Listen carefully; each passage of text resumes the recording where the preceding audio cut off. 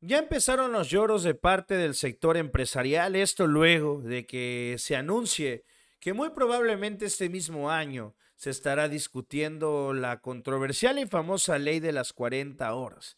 Y es que esta vieja narrativa de parte del empresariado, pero también de la derecha ultraconservadora, la cual nos vive diciendo y vendiendo la historia de que los mexicanos somos los flojos, los que estiramos la mano, huevones que nos gusta que nos estén dando apoyos sociales a pesar de que en la mayoría de los sondeos internacionales sobre las horas y los horarios de trabajo, los mexicanos son los que salen hasta el pico, hasta el tope de los que más trabajan. Bueno, salieron ya los empresarios a llorar.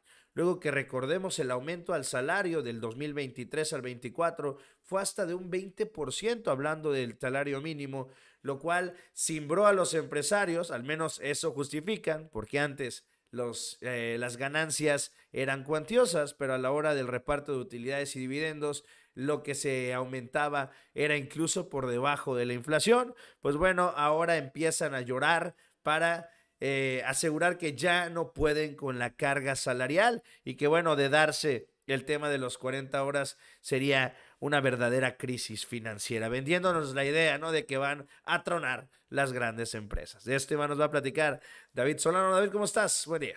Muchas gracias, Publio, y sean bienvenidas y bienvenidos todos a un nuevo video aquí en el canal. Y es que pues el día de hoy vamos a entrar en un tema que ha sido de mucha importancia, sin duda alguna, en el mundo empresarial, y se trata nada más y nada menos que del impacto de los aumentos en los costos laborales en empresas que cotizan en la Bolsa Mexicana de Valores, sobre todo. Y es que también vamos a analizar también los desafíos que están enfrentando muchas compañías.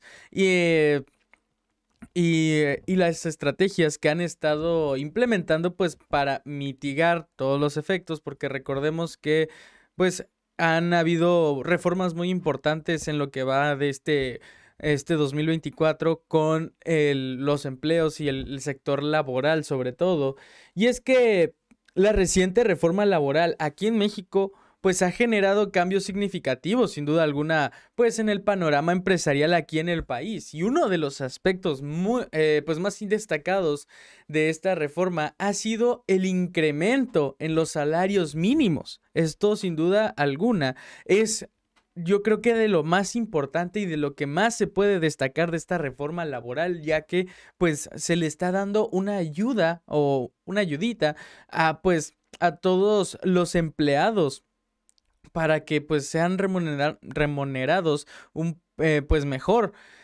Y es que obviamente esto ha llevado también al aumento pues de, en los costos laborales para muchas empresas. Y es que según un análisis eh, de 44 empresas locales cotizadas en la Bolsa Mexicana de Valores, el 43% de estas empresas ha reportado pues un aumento en sus costos operativos debido a este incremento salarial y otros gastos relacionados con la mano de obra. Digo, ya están llorando. O sea, Obviamente, esta reforma laboral a ellos, a las empresas como tal, no les convenía completamente, solo les conviene a los empleados. Y obviamente, lo que se está buscando pues, en este sexenio fue la mayor igualdad laboral. Y obviamente, al aprobar esta reforma laboral donde aumenta el salario mínimo, pues las las empresas se van a poner a llorar. Esto es algo clarísimo. Y es que pues volviendo a este tema, un ejemplo pues un poquito más ilustrativo de este impacto eh, lo encontramos en el Grupo Aeroportuario del Pacífico, donde su mismo director ejecutivo, Raúl Revuelta, destacó el mismo que los gastos aumentaron un 10% en comparación con el mismo periodo del año anterior. Y pues también señaló, se señaló que pues los cambios en la legislación laboral han afectado a todas las líneas de costos principales, especialmente los costos salariales y otros contratos importantes como lo puede ser de personal de limpieza, de seguridad y de mantenimiento incluso. Otra empresa que ah, fue afectada digamos, digámosle afectada entre comillas, porque pues, lo único que solo, están quejando, pues porque no les, repito, no les convenía este cambio a, a, la empresa como tal, pues es FEMSA, que sus gastos de operación aumentaron un 21, casi 22% durante el primer trimestre del año. Pues José Antonio Fernández Carvajal, el director general de FEMSA, pues mencionó que los costos laborales de la empresa se incrementaron sustancialmente, lo que pues ha impactado negativamente en su rentabilidad. Ah, también como eh, volviendo al tema de Grupo Aeroportuario del Sureste, pues también se resaltó un aumento de los costos consolidados que aumentaron casi un 14%, esto impulsados principalmente por el incremento de los salarios mínimos aquí en México. Y pues, entre otros factores que pues lo que más está teniendo peso es este aumento del salario mínimo. Y además de los eh, aumentos en costos laborales, pues las empresas también Ah, se han estado enfrentando a ciertos desafíos, como lo puede ser la apreciación del peso mexicano, que también ha, reducido las utilidades derivadas de la conversión cambiaria. Y obviamente, pues esta apreciación del peso, pues ha afectado especialmente a las empresas que realizan ventas en monedas extranjeras y fuera de México, porque pues toda la apreciación del peso ha disminuido sus ingresos en el término de una moneda local. Eh, también tenemos el caso de Finamex, que en, un informe, pues ellos explicaron, se explicaron que las empresas enfrentan un crecimiento en volúmenes y ventas en moneda extranjera fuera de México, lo que esto, lo que pues hace que se vean afectadas en la conversión a moneda local y por ende, pues en su crecimiento final. Y además de todos estos costos laborales, pues la conversión cambiaria y también empresas, eh, pues que hay empresas preocupadas, en este caso por otros factores, como lo, también lo puede ser el aumento de los costos de endeudamiento debido a las altas tasas de interés del Banco de México. Eh, ha causado mucha incertidumbre. Esto, esto hay que aceptarlo en el entorno de macroeconómico debido a los periodos electorales y también a las tensiones geopolíticas.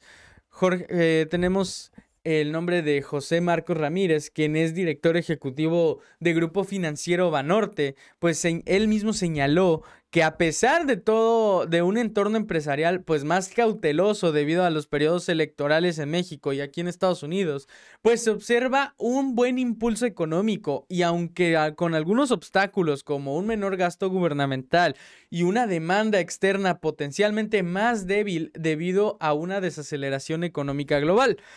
Y es que ya para ir resumiendo este corto video, pues los aumentos en estos costos eh, laborales eh, pues se supone, a como lo pintan muchos medios, yo creo que pues nada más no aguantaron este cambio las empresas, pues se supone que han estado afectando negativamente y que muchas empresas que también cotizan en la bolsa mexicana están reduciendo su rentabilidad y afectando sus costos de operación. Pero en este caso, esta reforma laboral era a favor de los empleados, no de las mismas empresas. Pues a las empresas en este caso no les queda más que acatar esta reforma y pues empezar a pagar eh, lo que, lo que se tiene que pagar prácticamente. No, no hay de otra forma. Eh, se supone que todo esto pues ha estado afectando y que no sé qué. Eh, hay otros factores externos que, ok, esos yo creo que es poquito más, pues, justificable entre comillas, muy entre comillas, la verdad, como lo puede ser pues la apreciación del peso mexicano o también las altas tasas de interés. Y bueno, algo que yo creo que sí es un tema muy aparte, pero que también tiene que ver, pues son las tensiones geopolíticas eh, internacionales, como lo puede ser la guerra entre, este, entre Ucrania y Rusia, en el, el conflicto allá en Medio Oriente. Pero bueno, si les gustó el video, no olviden dejar su like, no olviden suscribirse. Mi nombre es David Ramírez y nos estamos viendo como siempre en el siguiente video.